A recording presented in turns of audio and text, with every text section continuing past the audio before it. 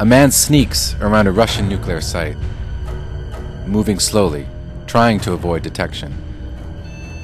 But cameras and sensors are tracking him, and he's quickly caught. Fortunately, this man is not an intruder. He's an instructor, and he's working with these students to test equipment that keeps nuclear facilities safe and secure. Protecting nuclear material poses one of the world's greatest security challenges. With more countries interested in nuclear power and an enduring terrorist threat, national governments are hard at work to keep radioactive materials from falling into the wrong hands. The IAEA is working with authorities at the Interdepartmental Special Training Center, a Russian facility outside of Moscow designed to train security personnel from around the world. It's part of a concerted effort to promote international cooperation in nuclear security.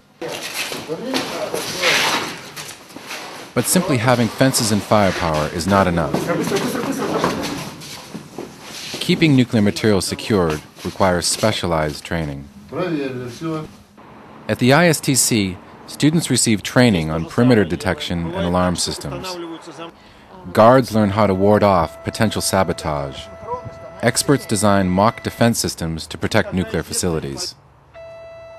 Similar training centers exist in other countries with advanced nuclear programs, but the ISTC is unique.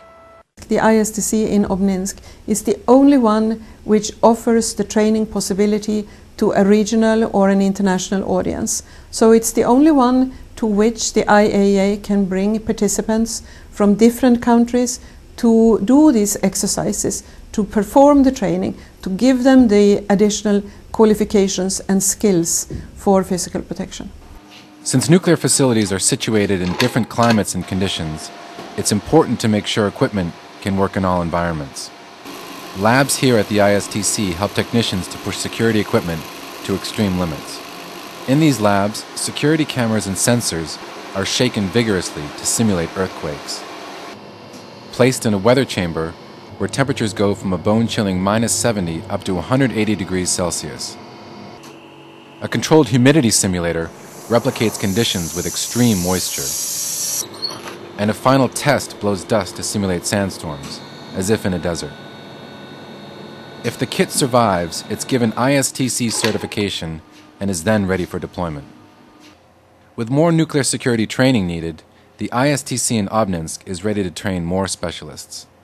Мы надеемся на продолжение сотрудничества с МАГАТЭ.